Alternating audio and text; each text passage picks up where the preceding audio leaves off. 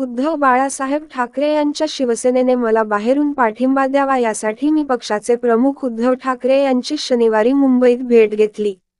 मी त्यांच्या पाठिंब्यावर लढायला तयार आहे.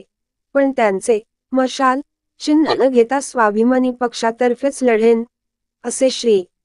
ठाकरे यांना सांगितले असल्याची माहिती स्वाभिमानी शेतकरी संघटनेचे प्रमुख राजू शेट्टी यांनी दिली. मला ठाकरे यांच्या शिवसेनेचा पाठिंबा हवा असला तरी विकास आघाडी पक्षाचा घटक नसल्याचे सांगत शेट्टी म्हणाले पाठिंब्याबाबत सकारात्मक बोलणी झाली आहे. हातकणंगलेची जागा माझी पारंपरिक आहे. मी निवडणूक सहज जिंकू शकतो. अजून त्यांचेही जागा वाटप झाले नसल्याने अंतिम निर्णय झाला नसला तरी सकारात्मक निर्णयाची अपेक्षा आहे. महाविकास आघाडीची अनेक धोरणे मला पटत नसल्याने महाविकास आघाडीचा उमेदवार म्हणून घेण्यात मला रस नाही.